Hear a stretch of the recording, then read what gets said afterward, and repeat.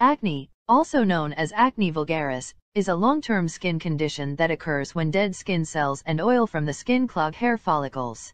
Typical features of the condition include blackheads or whiteheads, pimples, oily skin, and possible scarring. It primarily affects skin with a relatively high number of oil glands, including the face, upper part of the chest, and back. The resulting appearance can lead to anxiety, reduced self-esteem, and, in extreme cases, depression or thoughts of suicide. Susceptibility to acne is primarily genetic in 80% of cases. The roles of diet and cigarette smoking in the condition are unclear, and neither cleanliness nor exposure to sunlight appear to play a part. In both sexes, hormones called androgens appear to be part of the underlying mechanism, by causing increased production of sebum.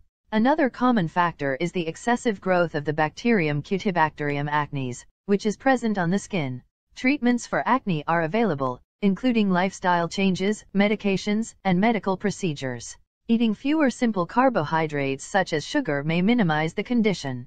Treatments applied directly to the affected skin, such as azelaic acid, benzoyl peroxide, and salicylic acid, are commonly used. Antibiotics and retinoids are available in formulations that are applied to the skin and taken by mouth for the treatment of acne.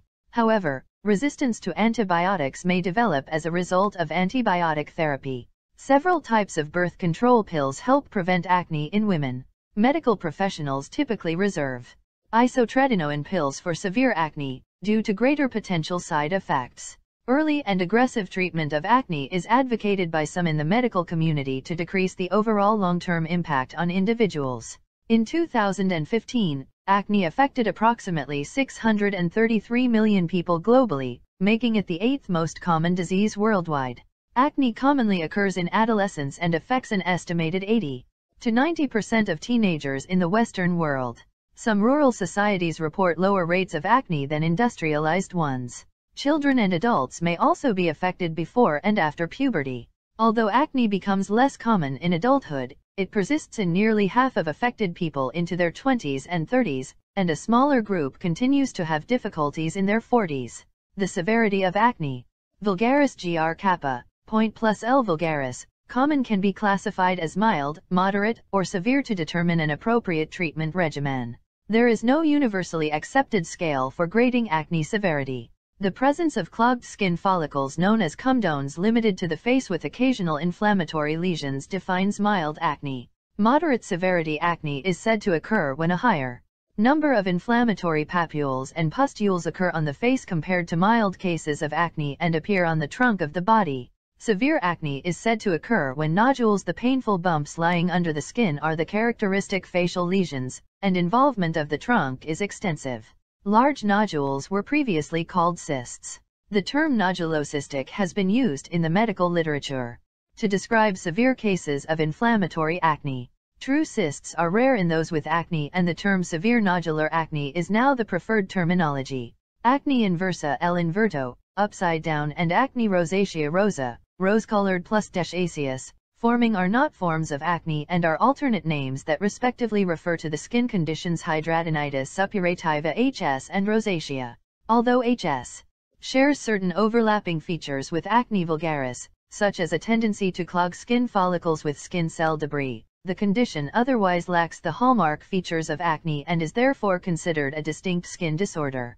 Typical features of acne include increased secretion of oily sebum by the skin, microcomedones, comedones, papules, nodules large papules, pustules, and often results in scarring. The appearance of acne varies with skin color. It may result in psychological and social problems. Acne scars are caused by inflammation within the dermis and are estimated to affect 95% of people with acne vulgaris. Abnormal healing and dermal inflammation create the scar. Scarring is most likely to take place with severe acne but may occur with any form of acne vulgaris. Acne scars are classified based on whether the abnormal healing response following dermal inflammation leads to excess collagen deposition or loss at the site of the acne lesion. Atrophic acne scars have lost collagen from the healing response and are the most common type of acne scar accounting for approximately 75% of all acne scars. Ice pick scars, boxcar scars, and rolling scars are subtypes of atrophic acne scars. Boxcar scars are round or ovoid indented scars with sharp borders and vary in size from 1.54 mm across. Ice pick scars are narrow less than 2 mm across, deep scars that extend into the dermis. Rolling scars are broader than ice pick and boxcar scars 4-5 mm across and have a wave-like pattern of depth in the skin. Hypertrophic scars are uncommon and are characterized by increased collagen content after the abnormal healing response. They are described as firm and raised from the skin. Hypertrophic scars remain within the original margins of the wound, whereas keloid scars can form scar tissue outside of these borders. Keloid scars from acne occur more often in men and people with darker skin, and usually occur on the trunk of the body. In November 2021 a study was published exposing the consensus of 24 renowned international plastic surgeons and dermatologists about the most effective energy-based devices for the treatment of acne scars. After an inflamed nodular acne lesion resolves, it is common for the skin to darken in that area, which is known as post-inflammatory hyperpigmentation PIH. The inflammation stimulates specialized pigment, producing skin cells known as melanocytes to produce more melanin pigment, which leads to the skin's darkened appearance. PIH occurs more frequently in people with darker skin color. Pigmented scar is a common term used for PIH, but is misleading as it suggests the color change is permanent. Often, PIH can be prevented by avoiding any aggravation of the nodule and can fade with time. However, untreated PIH can last for months, years, or even be permanent if deeper layers of skin are affected. Even minimal skin exposure to the sun's ultraviolet rays can sustain hyperpigmentation. Daily use of SPF 15 or higher sunscreen can minimize such a risk. Risk factors for the development of acne, other than genetics, have not been conclusively identified. Possible secondary contributors include hormones, infections, diet, and stress. Studies investigating the impact of smoking on the incidence and severity of acne have been inconclusive. Sunlight and cleanliness are not associated with acne. Acne appears to be highly heritable. Genetics explain 81% of the variation in the population. Studies performed in affected twins and first-degree relatives further demonstrate the strongly inherited nature of acne. Acne susceptibility is likely due to the influence of multiple genes, as the disease does not follow a classic Mendelian inheritance pattern. These gene candidates include certain variations in tumor necrosis factor alpha TNF-alpha, IL-1-alpha, and CYP1A1 genes, among others. The 308G, a single nucleotide polymorphism variation in the gene for TNF is associated with an increased risk for acne. Acne can be a feature of rare genetic disorders such as Apert syndrome. Severe acne may be associated with XYY syndrome. Hormonal activity, such as occurs during menstrual cycles and puberty, may contribute to the formation of acne. During puberty, an increase in sex hormones called androgens causes the skin follicle glands to grow larger and make more oily sebum. The androgen hormones testosterone, dihydrotestosterone DHT, and dehydroepiandrosterone DHEA are all linked to acne. High levels of growth hormone GH and insulin-like growth factor 1 IGF-1 are also associated with worsened acne. Both androgens and IGF-1 seem to be essential for acne to occur, as acne does not develop in individuals with complete androgen insensitivity syndrome CAIS or Laron syndrome. Insensitivity to GH, resulting in very low IGF-1 levels. Medical conditions that commonly cause a high androgen state, such as polycystic ovary syndrome, congenital adrenal hyperplasia, and androgen-secreting tumors, can cause acne in affected individuals. Conversely, people who lack androgenic hormones or are insensitive to the effects of androgens rarely have acne. Pregnancy can increase androgen levels, and consequently, oily sebum synthesis. Acne can be a side effect of testosterone replacement therapy or anabolic steroid use. Over-the-counter bodybuilding and dietary supplements often contain illegally added anabolic steroids. The anaerobic bacterial species Cutibacterium acnes, formerly Propionibacterium acnes, contributes to the development of acne, but its exact role is not well understood. There are specific substrains of C. acnes associated with normal skin and others with moderate or severe inflammatory acne. It is unclear whether these undesirable strains evolve on-site or are acquired, or possibly both depending on the person. These strains have the capability of changing perpetuating, or adapting to the abnormal cycle of inflammation, oil production, and inadequate sloughing of dead skin cells from acne pores. Infection with the parasitic mite Demodex is associated with the development of acne. It is unclear whether eradication of the mite improves acne. High glycemic load diets have been found to have different degrees of effect on acne severity. Multiple randomized controlled trials and non-randomized studies have found a lower glycemic load diet to be effective in reducing acne. There is weak observational evidence suggesting that dairy milk consumption is positively associated with a higher frequency and severity of acne. Milk contains whey protein and hormones such as bovine IGF-1 and precursors of dihydrotestosterone. Studies suggest these components promote the effects of insulin and IGF-1 and thereby increase the production of androgen hormones, sebum, and promote the formation of comedones. Available evidence does not support a link between eating chocolate or salt and acne severity. Few studies have examined the relationship between obesity and acne. Vitamin B12 may trigger skin outbreaks similar to acne acneiform eruptions, or worsen existing acne when taken in doses exceeding the recommended daily intake. There are few high-quality studies to demonstrate that stress causes or worsens acne. Despite being controversial, some research indicates that increased acne severity is associated with high stress levels in certain contexts, such as hormonal changes seen in premenstrual syndrome. Some individuals experience severe intensification of their acne when they are exposed to hot humid climates. This is due to bacteria and fungus thriving in warm, moist environments. This climate-induced acne exacerbation has been termed tropical acne. Mechanical obstruction of skin follicles with helmets or chin straps can worsen pre-existing acne. However, when acne is caused by mechanical obstruction it is not considered a form of acne vulgaris when being very technical. It would be an other acneiform eruption known as acne mechanica. Several medications can also worsen pre-existing acne. This condition is the acne medicamentosa form of acne. Examples of such medications include lithium, hydantoin, isoniazid, glucocorticoids, iodides, bromides, and testosterone. When acne medicamentosa is specifically caused by anabolic androgenic steroids it can simply be referred to as steroid acne. Genetically susceptible individuals can get acne breakouts as a result of polymorphous light eruption, a condition triggered by sunlight and artificial UV light exposure. This form of acne is called acne estivalis and it's specifically caused by intense UV light exposure. Affected individuals usually experience seasonal acne breakouts on their upper arms, shoulder girdle, back, and chest. The breakouts typically occur 1 to 3 days after they've been exposed to intense UV radiation. Unlike other forms of acne the condition spares the face, this could possibly be a result of the pathogenesis of polymorphous light eruption, in which areas of the skin that are newly exposed to intense ultraviolet radiation are affected. Since faces are typically left uncovered at all stages of life there's little to no likelihood for an eruption to appear there. Studies show that both polymorphous light eruption outbreaks and the acne estivalis breakout response can be prevented by topical antioxidants combined with the application of a broad-spectrum sunscreen.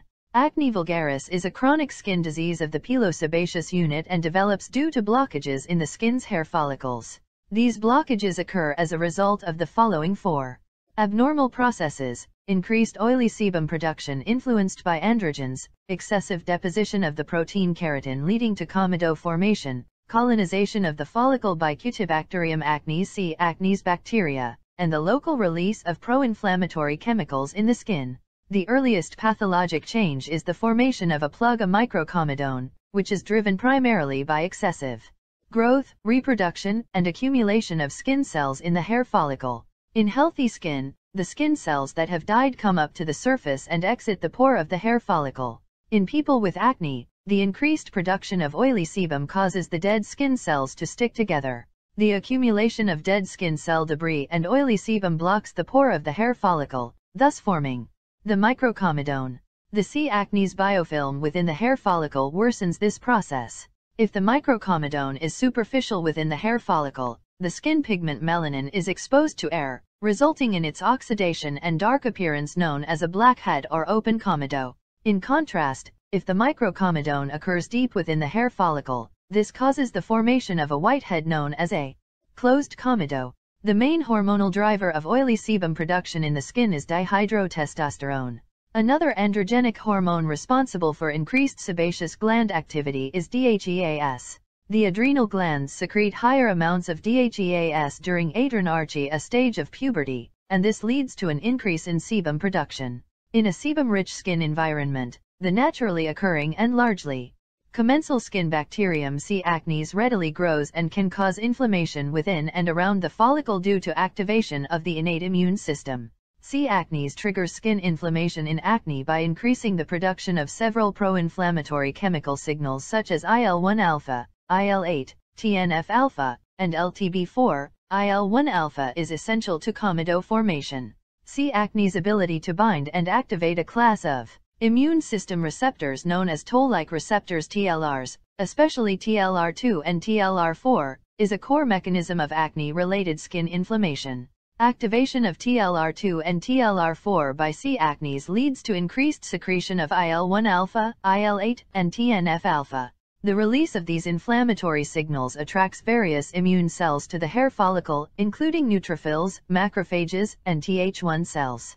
IL-1-alpha stimulates increased skin cell activity and reproduction, which, in turn, fuels comedo development. Furthermore, sebaceous gland cells produce more antimicrobial peptides, such as HBD1 and HBD2, in response to the binding of TLR2 and TLR4. C. acnes also provokes skin inflammation by altering the fatty composition of oily sebum. Oxidation of the lipid squalene by C. acnes is of particular importance. Squalene. Oxidation activates NF-kappa B, a protein complex and consequently increases IL-1 alpha levels. Additionally, squalene oxidation increases 5-lipoxygenase enzyme activity, which catalyzes the conversion of arachidonic acid to leukotriene B4 LTB4. LTB4 promotes skin inflammation by acting on the peroxisome proliferator activated receptor alpha PAR protein. PAR increases the activity of activator protein 1, AP1 and NF-kappa B, thereby leading to the recruitment of inflammatory T cells. C. acne's ability to convert sebum triglycerides to pro-inflammatory free fatty acids via secretion of the enzyme lipase further explains its inflammatory properties. These free fatty acids spur increased production of cathelicidin, HBD1, and HBD2, thus leading to further inflammation. This inflammatory cascade typically leads to the formation of inflammatory acne lesions, including papules, infected pustules, or nodules. The inflammatory reaction is severe, the follicle can break into the deeper layers of the dermis and subcutaneous tissue and cause the formation of deep nodules. The involvement of AP1 in the aforementioned inflammatory cascade activates matrix metalloproteinases, which contribute to local tissue destruction and scar formation. Along with the bacteria C. acnes, the bacterial species Staphylococcus epidermidis S. epidermidis also takes a part in the physiopathology of acne vulgaris.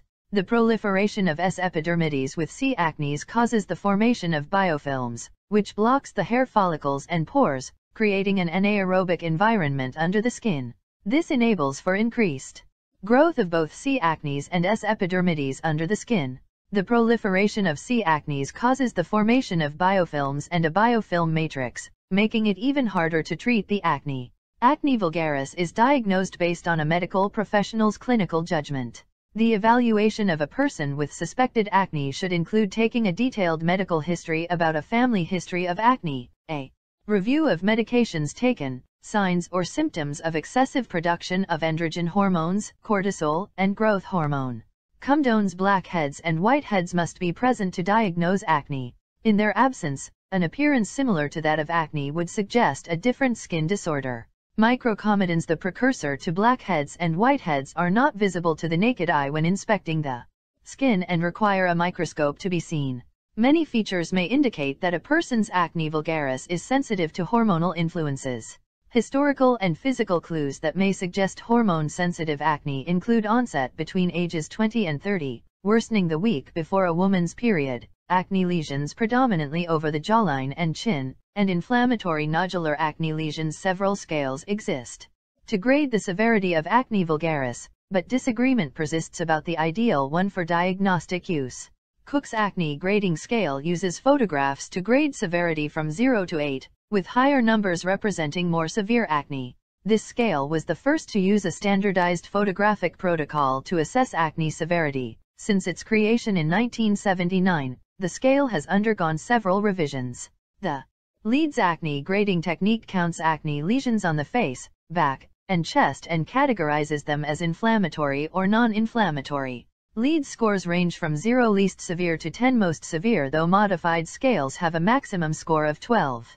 The Pillsbury Acne Grading Scale classifies the severity of the acne from grade 1 least severe to grade 4 most severe. Many skin conditions can mimic acne vulgaris, and these are collectively known as acneiform eruptions. Such conditions include angiofibromas, epidermal cysts, flat warts, folliculitis, keratosis pilaris, milia, perioral dermatitis, and rosacea, among others. Age is one factor that may help distinguish between these disorders. Skin disorders such as perioral dermatitis and keratosis pilaris can appear similar to acne but tend to occur more frequently in childhood. Rosacea tends to occur more frequently in older adults.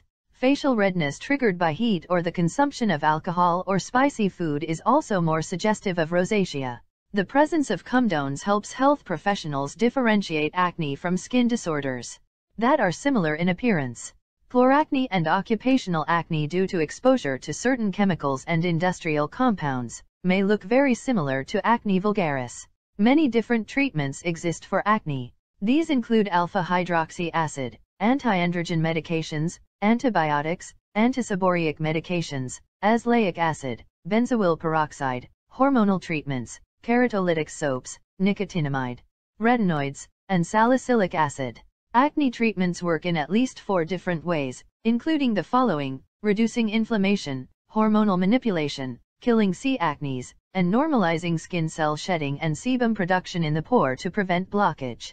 Typical treatments include topical therapies such as antibiotics, benzoyl peroxide, and retinoids, and systemic therapies, including antibiotics, hormonal agents, and oral retinoids. Recommended therapies for first-line use in acne vulgaris treatment include topical retinoids, benzoyl peroxide, and topical or oral antibiotics.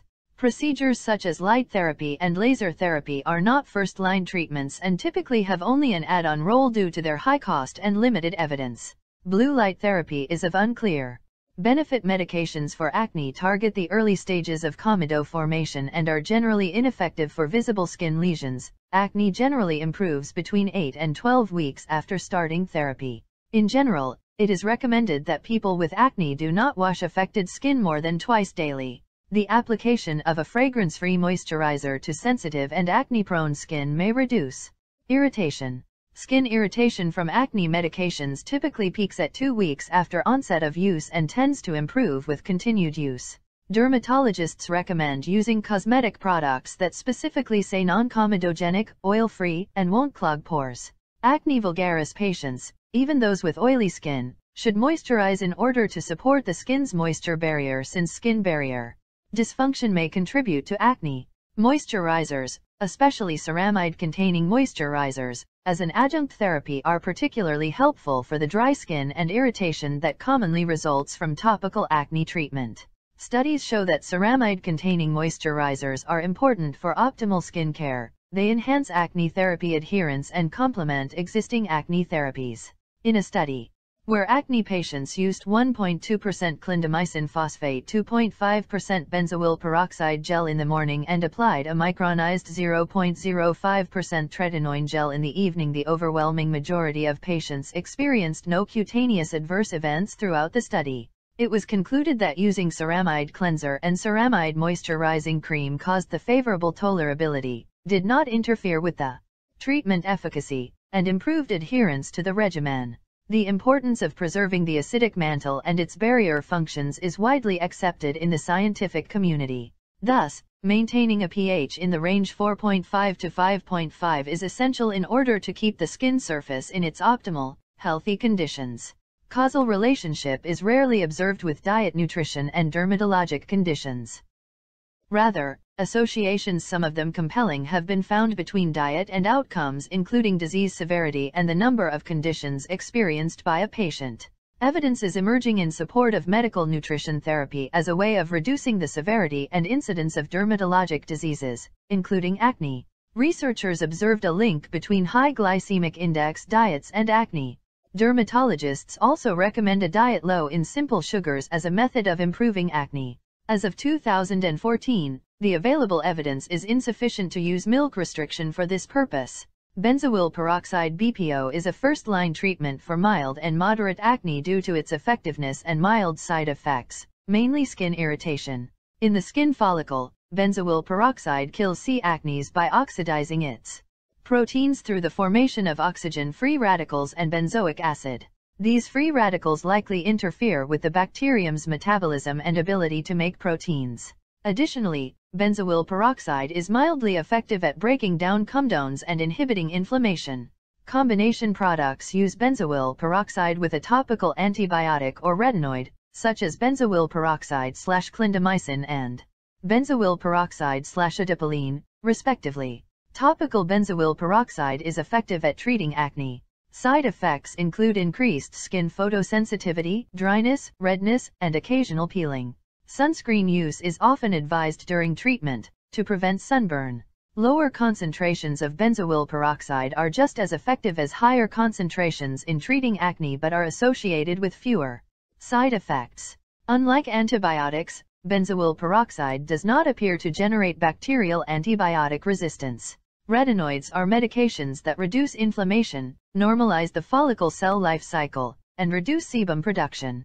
They are structurally related to vitamin A. Studies show dermatologists and primary care doctors underprescribe them for acne. The retinoids appear to influence the cell life cycle in the follicle lining. This helps prevent the accumulation of skin cells within the hair follicle that can create a blockage. They are a first-line acne treatment, especially for people with dark-colored skin.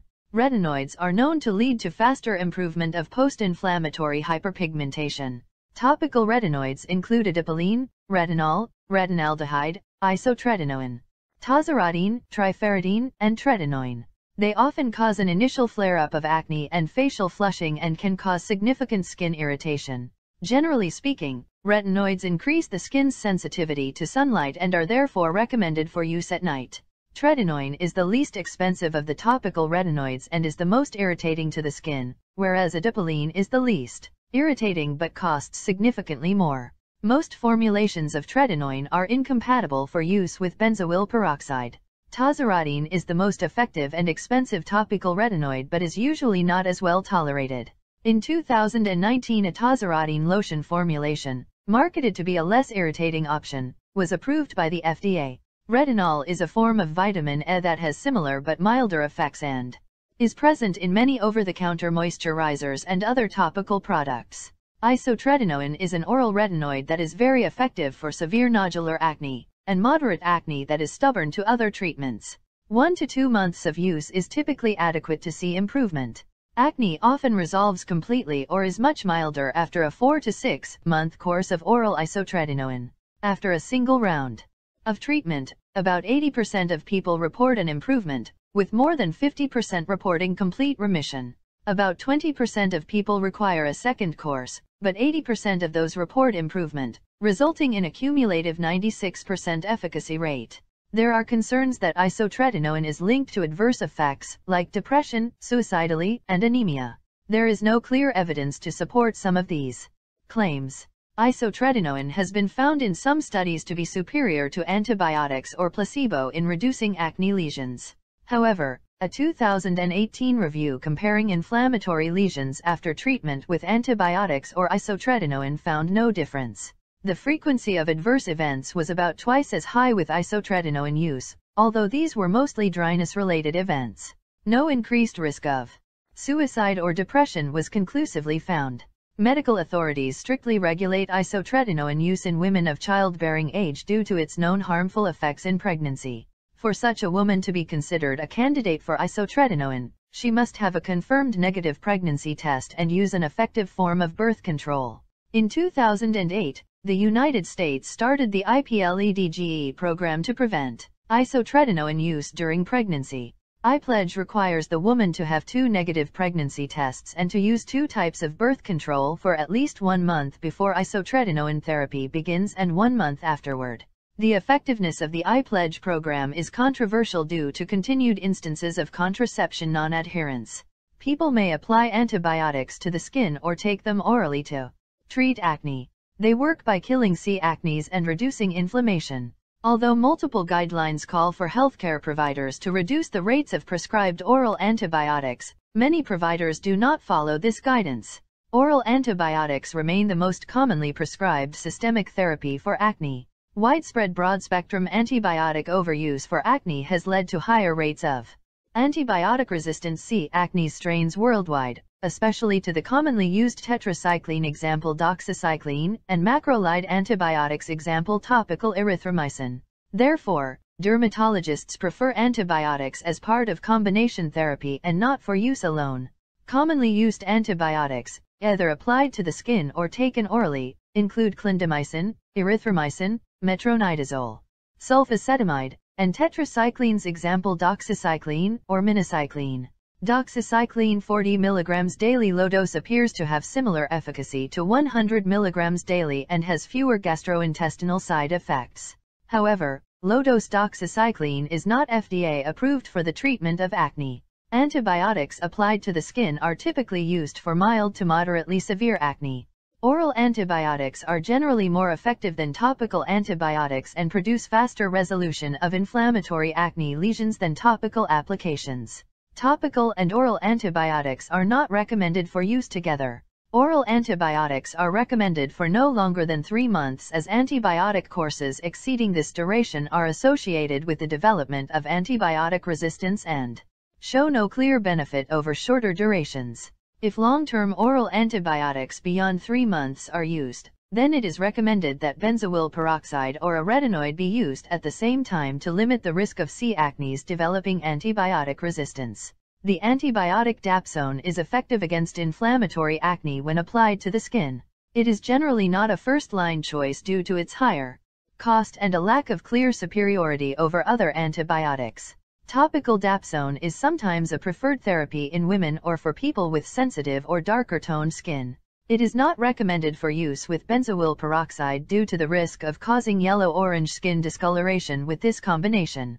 Minocycline is an effective acne treatment, but it is not a first-line antibiotic due to a lack of evidence that it is better than other treatments, and concerns about its safety compared to other tetracyclines. Sarecycline is the most recent oral antibiotic developed specifically for the treatment of acne and is FDA approved for the treatment of moderate to severe inflammatory acne in patients 9 years of age and older. It is a narrow-spectrum tetracycline antibiotic that exhibits the necessary antibacterial activity against pathogens related to acne vulgaris and a low propensity for inducing antibiotic resistance. In clinical trials, Sarecycline demonstrated clinical efficacy in reducing inflammatory acne lesions as early as three weeks and reduced truncal back and chest acne. In women, the use of combined birth control pills can improve acne. These medications contain an estrogen and a progestin. They work by decreasing the production of androgen hormones by the ovaries and by decreasing the free and hence biologically active fractions of androgens, resulting in lowered skin production of sebum and consequently reduce acne severity. First-generation progestins such as norethindrone and norgestrel have androgenic properties and may worsen acne. Although oral estrogens decrease IGF-1 levels in some situations, which could theoretically improve acne symptoms, combined birth control pills do not appear to affect IGF-1 levels in fertile women. Cyproterone acetate containing birth control pills seem to decrease total and free IGF-1 levels. Combinations containing third or fourth generation progestins, including desogestrel, dienogest, drospirenone, or norgestimate, as well as birth control pills containing cyproterone acetate or chlormadinone acetate, are preferred for women with acne due to their stronger antiandrogenic effects. Studies have shown a 40 to 70% reduction in acne lesions with combined birth control pills. A 2014 review found that oral antibiotics appear to be somewhat more effective than birth control pills at reducing the number of inflammatory acne lesions at 3 months. However, the two therapies are approximately equal in efficacy at 6 months for decreasing the number of inflammatory, non-inflammatory, and total acne lesions. The authors of the analysis suggested that birth control pills may be a preferred first-line acne treatment over oral antibiotics in certain women due to similar efficacy at 6 months and a lack of associated antibiotic resistance. Progestogen-only birth control with androgenic progestins has been associated with worsened acne antiandrogens such as cyproterone acetate and spironolactone can successfully treat acne, especially in women with signs of excessive androgen production, such as increased hairiness or skin production of sebum, or scalp hair loss. Spironolactone is an effective treatment for acne in adult women. Unlike combined birth control pills, it is not approved by the United States Food and Drug Administration for this purpose. Spironolactone is an aldosterone antagonist and is a useful acne treatment due to its ability to additionally block the androgen receptor at higher doses. Alone or in combination with a birth control pill, spironolactone has shown a 33 to 85% reduction in acne lesions in women. The effectiveness of spironolactone for acne appears to be dose-dependent. High-dose cyproterone acetate alone reportedly decreases acne symptoms in women by 75 to 90% within 3 months. It is usually combined with an estrogen to avoid menstrual irregularities and estrogen deficiency. The medication appears to be effective in the treatment of acne. In males, with one study finding that a high dosage reduced inflammatory acne lesions by 73%. However, spironolactone and cyproterone acetate side effects in males, such as gynecomastia, sexual dysfunction, and decreased bone mineral density, generally make their use for male acne impractical. Pregnant and lactating women should not receive antiandrogens for their acne due to a possibility of birth disorders such as hypospadias and feminization of male babies. Women who are sexually active and who can or may become pregnant should use an effective method of contraception to prevent pregnancy while taking an antiandrogen. Antiandrogens are often combined with birth control pills for this reason, which can result in additive efficacy. The FDA added a black box warning to spironolactone about possible tumor risks based on preclinical research with very high doses 100-fold clinical doses and cautioned that unnecessary use of the medication should be avoided. However, several large epidemiological studies subsequently found no greater risk of tumors in association with spironolactone in humans. Conversely, strong associations of cyproterone acetate with certain brain tumors have been discovered and its use has been restricted. The brain tumor risk with cyproterone acetate is due to its strong progestogenic actions and is not related to antiandrogenic activity nor shared by other antiandrogens. Flutamide, a pure antagonist of the androgen receptor, is effective in treating acne in women. It appears to reduce acne symptoms by 80 to 90% even at low doses, with several studies showing complete acne clearance. In one study, flutamide decreased acne scores by 80% within three months, whereas spironolactone decreased symptoms by only 40% in the same period. In a large long-term study, 97% of women reported satisfaction with the control of their acne with flutamide. Although effective, flutamide has a risk of serious liver toxicity and cases of death in women. Taking even low doses of the medication to treat androgen-dependent skin and hair conditions have occurred. As such, the use of flutamide for acne has become increasingly limited, and it has been argued that continued use of flutamide for such purposes is unethical.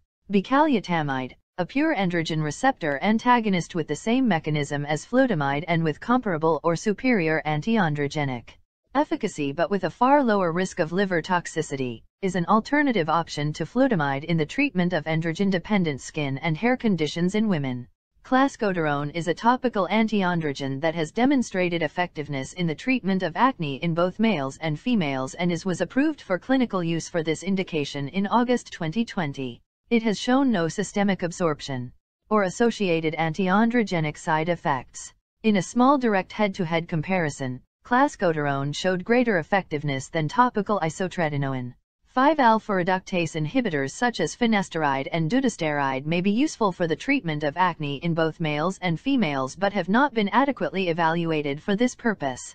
Moreover, 5-alpha reductase inhibitors have a strong potential for producing birth defects in male babies and this limits their use in women.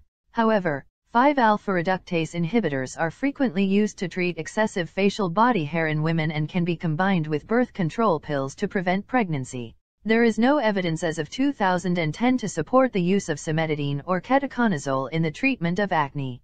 Hormonal treatments for acne such as combined birth control pills and anti-androgens may be considered first-line therapy for acne under many circumstances, including desired contraception, known or suspected hyperandrogenism, acne during adulthood, acne that flares premenstrually, and when symptoms of significant sebum production seborrhea are co-present. Hormone therapy is effective for acne even in women with normal androgen levels. Azelaic acid is effective for mild to moderate acne when applied topically at a 15% to 20% concentration. Treatment twice daily for 6 months is necessary and is as effective as topical benzoyl peroxide 5%, isotretinoin 0.05%, and erythromycin 2%. Azelaic acid is an effective acne treatment due to its ability to reduce skin cell accumulation in the follicle and its antibacterial and anti-inflammatory properties. It has a slight skin lightening effect due to its ability to inhibit melanin synthesis. Therefore, it is useful in treating individuals with acne who are also affected by post-inflammatory hyperpigmentation. Azelaic acid may cause skin irritation. It is less effective and more expensive than retinoids. Azelaic acid also led to worse treatment response when compared to benzoyl peroxide. When compared to tretinoin, azelaic acid makes little or no treatment response. Salicylic acid is a topically applied beta-hydroxy acid that stops bacteria from reproducing and has keratolytic properties. It is less effective than retinoid therapy. Salicylic acid opens obstructed skin pores and promotes the shedding of epithelial skin cells. Dry skin is the most commonly seen side effect with topical application, though darkening of the skin can occur in individuals with darker skin types. Topical and oral preparations of nicotinamide the amide form of vitamin B3 are alternative medical treatments. Nicotinamide reportedly improves acne due to its anti-inflammatory properties, its ability to suppress sebum production, and its wound healing properties. Topical and oral preparations of zinc are suggested treatments for acne. Evidence to support their use for this purpose is limited. Zinc's capacities to reduce inflammation and sebum production as well as inhibit C. acnes growth are its proposed mechanisms for improving acne. Antihistamines may improve symptoms among those already taking isotretinoin due to their anti-inflammatory properties and their ability to suppress sebum production. Hydroquinone lightens the skin when applied topically by inhibiting tyrosinase, the enzyme responsible for converting the amino acid tyrosine to the skin pigment melanin, and is used to treat acne-associated post-inflammatory hyperpigmentation. By interfering with the production of melanin in the epidermis, hydroquinone leads to less hyperpigmentation as darkened skin cells are naturally shed over time. Improvement in skin hyperpigmentation is typically seen within 6 months when used twice daily. Hydroquinone is ineffective for hyperpigmentation affecting deeper layers of skin such as the dermis. The use of a sunscreen with SPF 15 or higher in the morning with reapplication every 2 hours is recommended when using hydroquinone. Its application only to affected areas lowers the risk of lightening the color of normal skin but can lead to a temporary ring of lightened skin around the hyperpigmented area. Hydroquinone is generally well tolerated, side effects are typically mild example skin irritation and occur with the use of a higher than the recommended 4% concentration.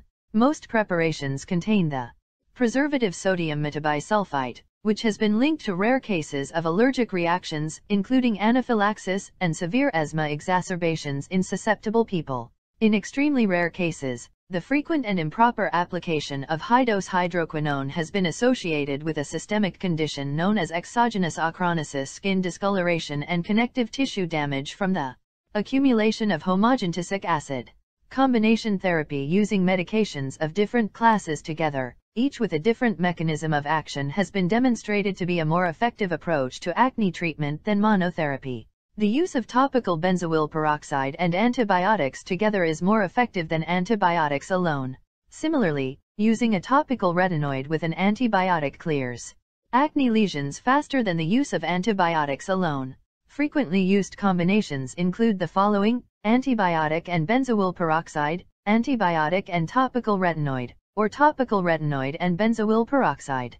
Dermatologists generally prefer combining benzoyl peroxide with a retinoid over the combination of a topical antibiotic with a retinoid.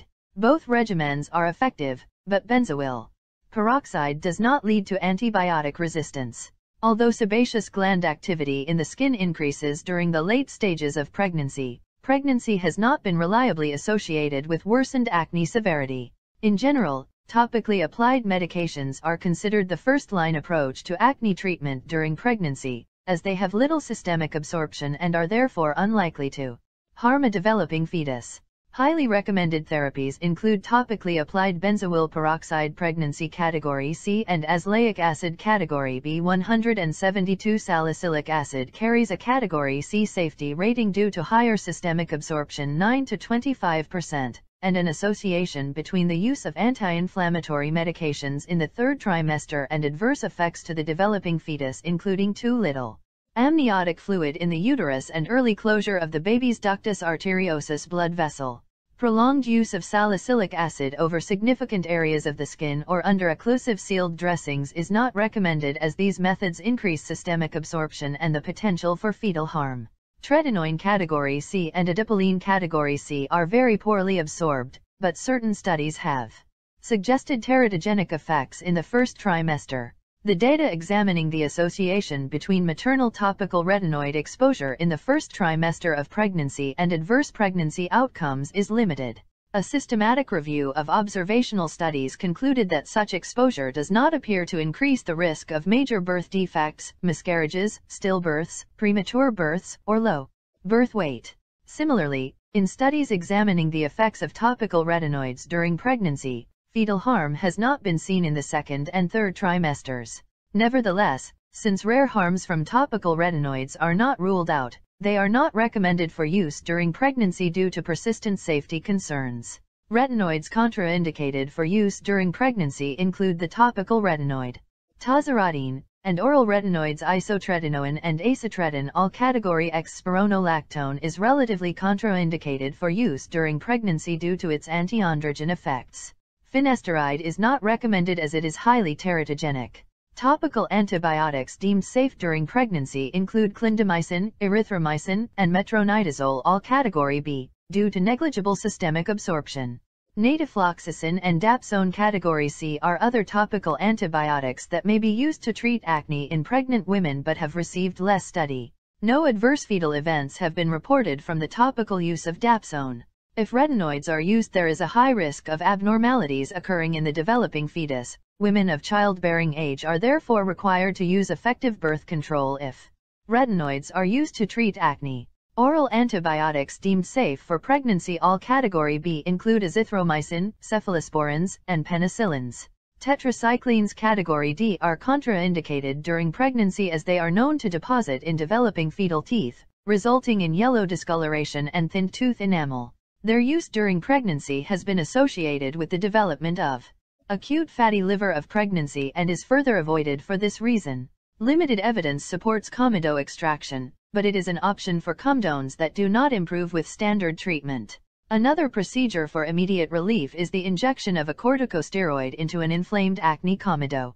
Electrocautery and electrofulguration are effective alternative treatments for comedones. Light Therapy is a treatment method that involves delivering certain specific wavelengths of light to an area of skin affected by acne. Both regular and laser light have been used. The evidence for light therapy as a treatment for acne is weak and inconclusive. Various light therapies appear to provide a short-term benefit, but data for long-term outcomes, and outcomes in those with severe acne, are sparse. It may have a role for individuals whose acne has been resistant to topical medications. A 2016 meta-analysis was unable to conclude whether light therapies were more beneficial than placebo or no treatment, nor the duration of benefit. When regular light is used immediately following the application of a sensitizing substance to the skin such as aminolevulinic acid or methyl aminolevulinate, the treatment is referred to as photodynamic therapy PDT. PDT has the most supporting evidence of all light therapy modalities.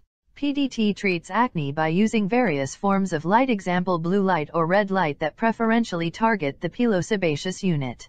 Once the light activates the sensitizing substance, This generates free radicals and reactive oxygen species in the skin, which purposefully damage the sebaceous glands and kill C. acnes bacteria. Many different types of non-ablative lasers i.e., lasers that do not vaporize the top layer of the skin but rather induce a physiologic response in the skin from the light have been used to treat acne, including those that use infrared wavelengths of light. Ablative lasers such as CO2 and fractional types have also been used to treat active acne and its scars. When ablative lasers are used, the treatment is often referred to as laser resurfacing because, as mentioned previously, the entire upper layers of the skin are vaporized.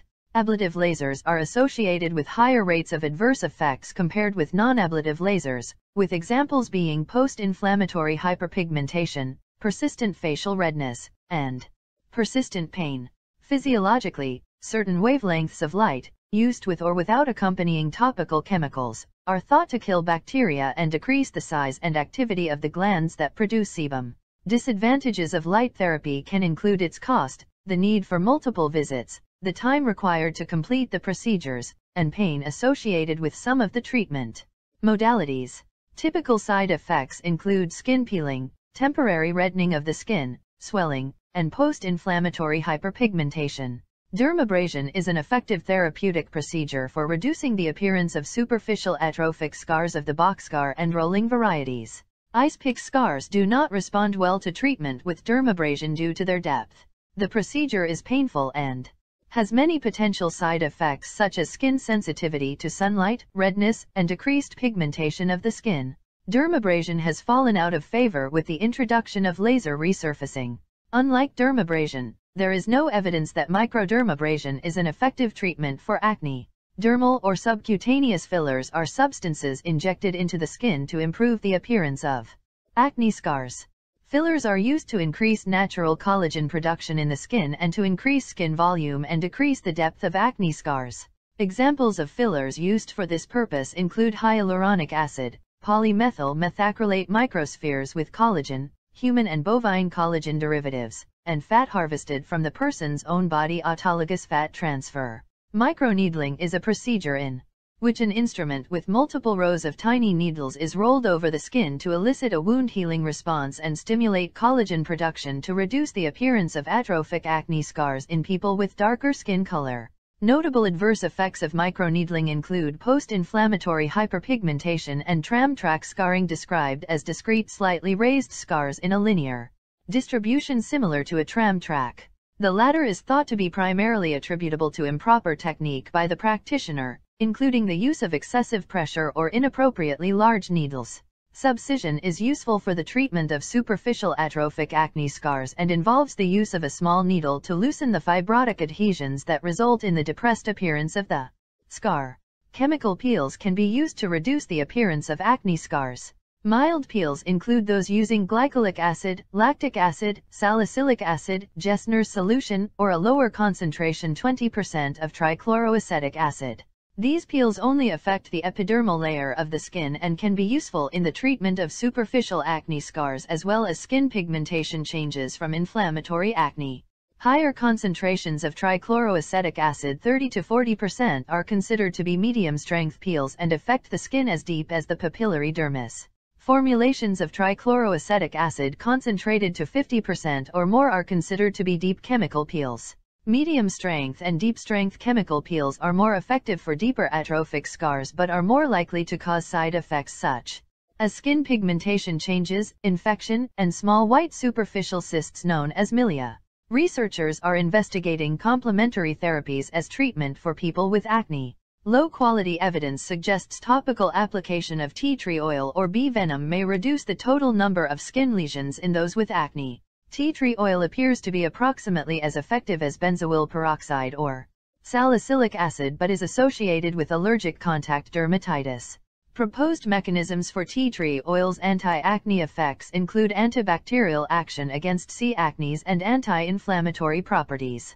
Numerous other plant-derived therapies have demonstrated positive effects against acne example basil oil, oligosaccharides from seaweed. However, few well-done studies have examined their use for this purpose.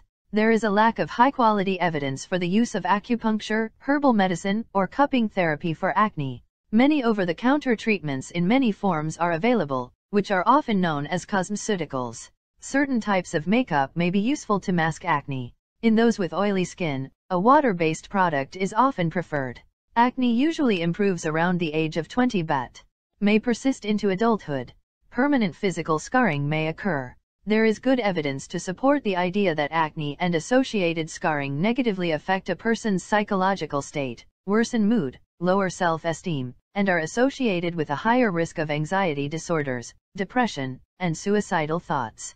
Another psychological complication of acne vulgaris is acne excoriée, which occurs when a person persistently picks and scratches pimples, irrespective of the severity of their acne. This can lead to significant scarring, changes in the affected person's skin pigmentation, and a cyclic worsening of the affected person's anxiety about their appearance. Rare complications from acne or its treatment include the formation of pyogenic granulomas, osteoma cutis, and acne with facial edema. Early and aggressive treatment of acne is advocated by some in the medical community to reduce the chances of these poor outcomes. Globally, acne affects approximately 650 million people, or about 9.4% of the population, as of 2010. It affects nearly 90% of people in Western societies during their teenage years, but can occur before adolescence and may persist into adulthood. While acne that first develops between the ages of 21 and 25 is uncommon, it affects 54% of women and 40% of men older than 25 years of age and has a lifetime prevalence of 85%. About 20% of those affected have moderate or severe cases. It is slightly more common in females than males 9.8% versus 9%. In those over 40 years old, 1% of males and 5% of females still have problems. Rates appear to be lower in rural societies. While some research has found it affects people of all ethnic groups, acne may not occur in the non-westernized peoples of Papua New Guinea and Paraguay. Acne affects 40 to 50 million people in the United States 16% and approximately 3 to 5 million in Australia 23%. Severe acne tends to be more common in people of Caucasian or Amerindian descent than in people of African descent. Historical records indicate pharaohs had acne, which may be the earliest known reference to the disease. Sulfur's usefulness as a topical remedy for acne dates back to at least the reign of Cleopatra 69 to 30 BCE.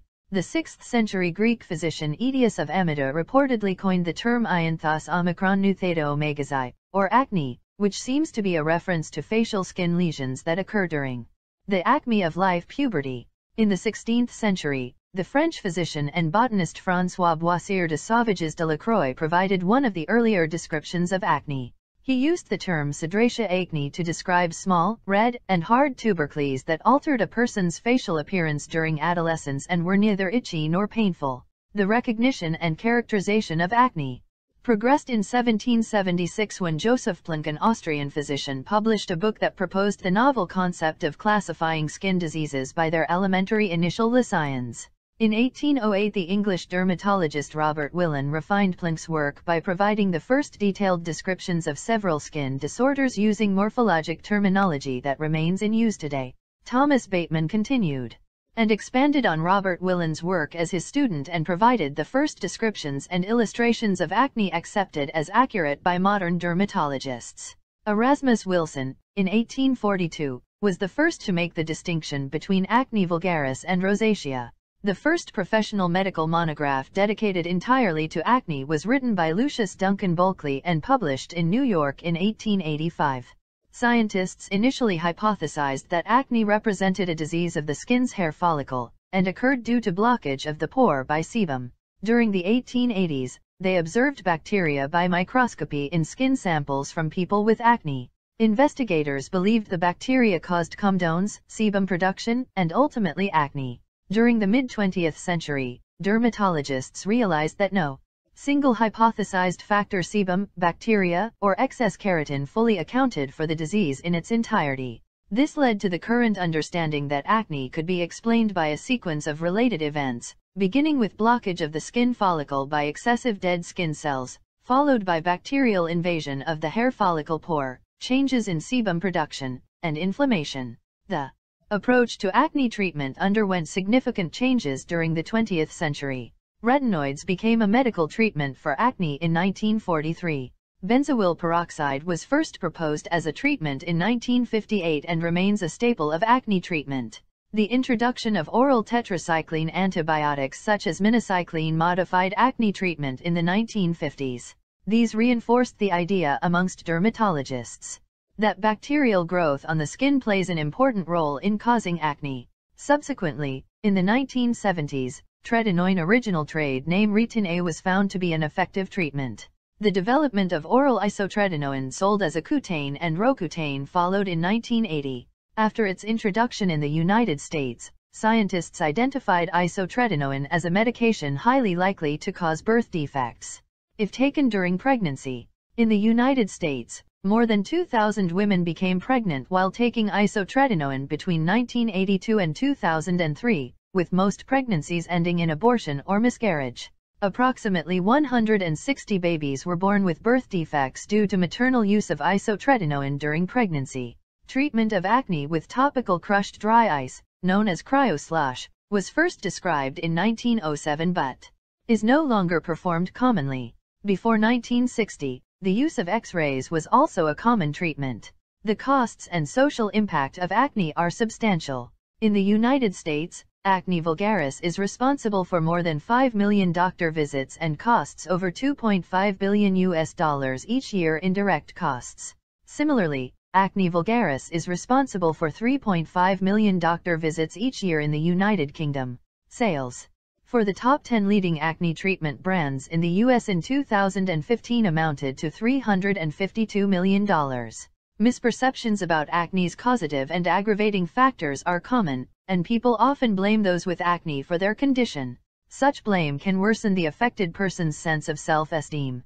Until the 20th century, even among dermatologists, the list of causes was believed to include excessive sexual thoughts and masturbation. Dermatology's association with sexually transmitted infections, especially syphilis, contributed to the stigma. Acne vulgaris and its resultant scars are associated with significant social and academic difficulties that can